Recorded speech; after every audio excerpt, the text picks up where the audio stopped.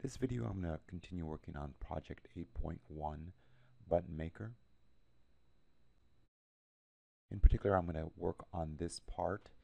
It's number 3, the handle insert. It's on page 15 of the assignment.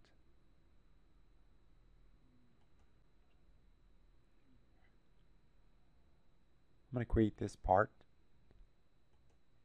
and this drawing. Going to start out by creating a new part.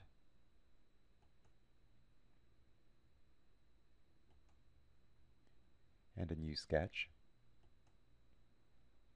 on the XY plane. Use my circle tool at the origin. Enter 0.875.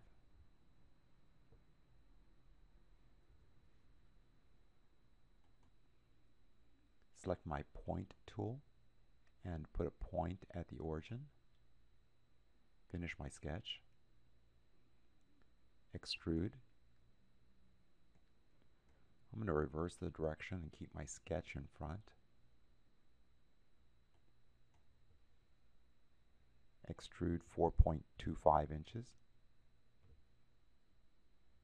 And select OK. I'm going to open up my feature and I'm going to turn the sketch on, turn visibility on. I'm going to create a hole. It's going to be a threaded hole. ANSI unified threads and it's just under a half an inch 0.4375 which is 7 sixteenths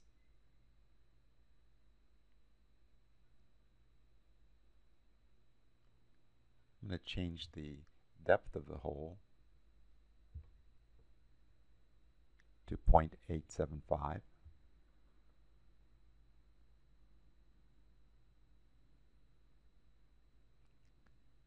Select OK. I'm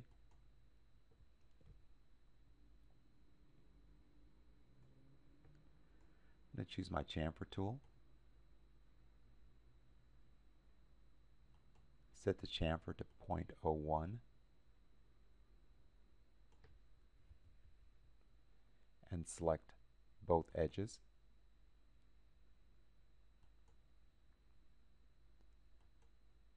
I'm going to turn off the visibility of the sketch.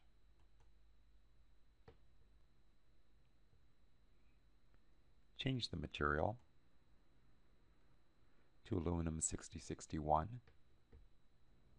Go to your iProperties, go to project, change the part number to 3 and change the description to handle insert.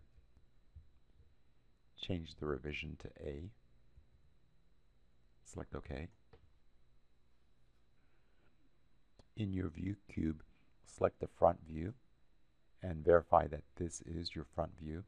If it's not, go to your context menu and select Set Current View as Front. Save your part. Create a new drawing.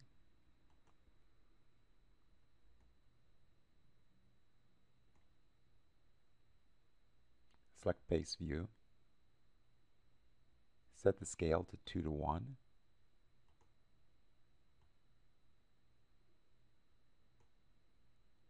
Turn on hidden. Place your a side view here and an ISO view here. Select OK. Select your ISO view and turn on shaded. Select OK. Select annotate. Choose your center mark tool and point to the outermost diameter.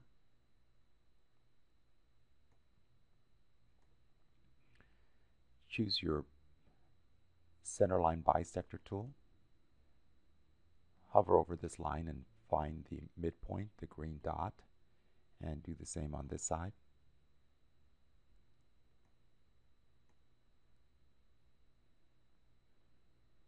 Choose dimension Zoom in and select this line, not the chamfer, but the outer line. Grab the same line on this end.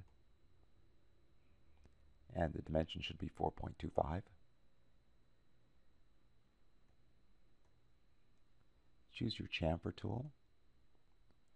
Zoom in and select this line and this line.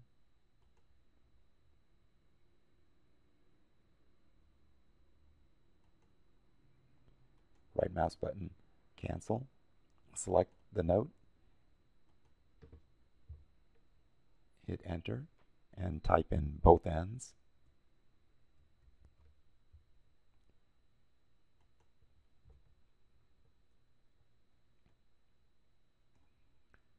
Choose dimension again.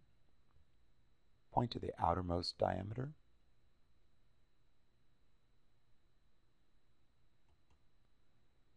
It should read 0.875. Choose the hole and thread tool. Point to this hole.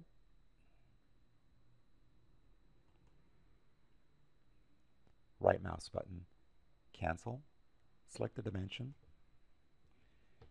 You should see a depth here in your hole note. If you don't, choose this symbol, the depth symbol,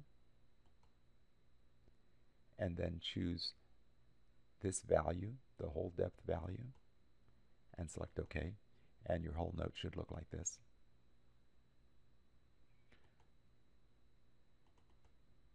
I'm going to add a space here. Select OK. Go to your iProperties, summary,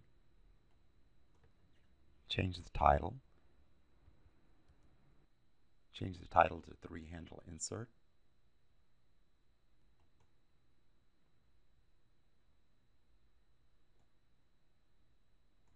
Save your drawing. Select File, Export to PDF. Save the PDF drawing in your Documents folder and submit the PDF file to Project Lead the Way to complete your assignment.